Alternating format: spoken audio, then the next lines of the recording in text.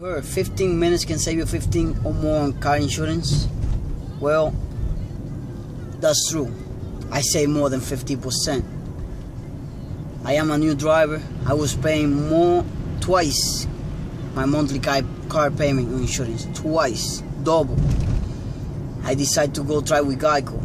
I didn't went online. I didn't like it.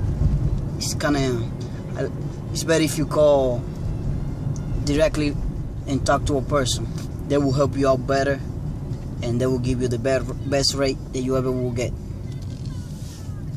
Try with Geico, and you will, and you will save more than 50%. I saved 28% on my car insurance when I switched to Geico. So go ahead and try with Geico. This is not a paid commercial. I just uh, advising drivers, young drivers like me.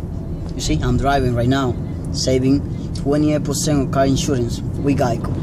Thank you.